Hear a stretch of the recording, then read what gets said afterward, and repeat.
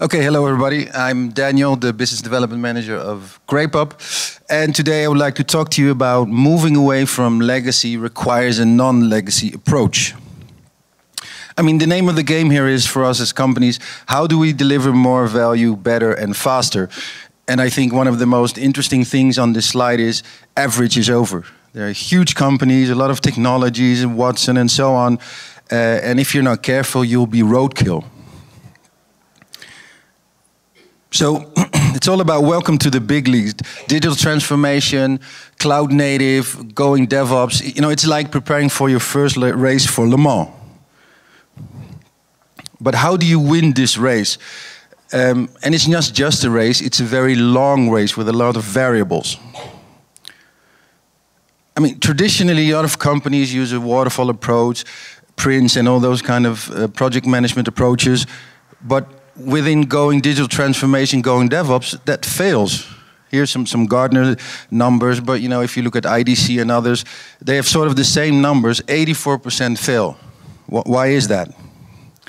Well, because what they don't do is change happens from the inside out.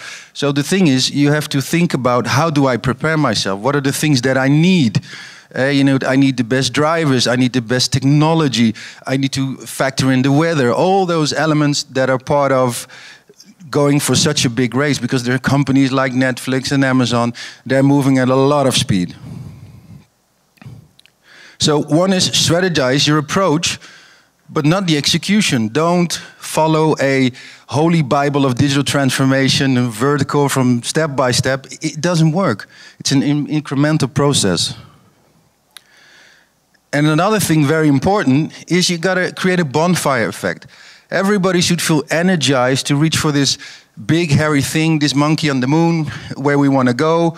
So everybody feels energized to reach for that goal. Another thing is don't plan the whole race. I mean, it's agile, do sprints, plan for that.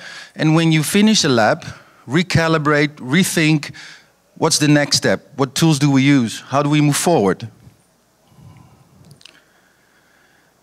And each role is essential. Everybody needs to be at the table, from management, even to the cleaners, from security to infrastructure. Everybody has a say, like the guy that uh, switches the tire might not look very complicated, but if he's five seconds late, it could you could lose the race.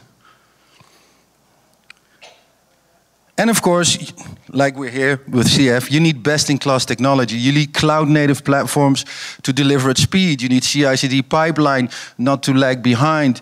Uh, you need to look at serverless, artificial intelligence. You need to be able to use the best technologies to deliver at speed. That's what it's about, and that's why my presentation moves at speed.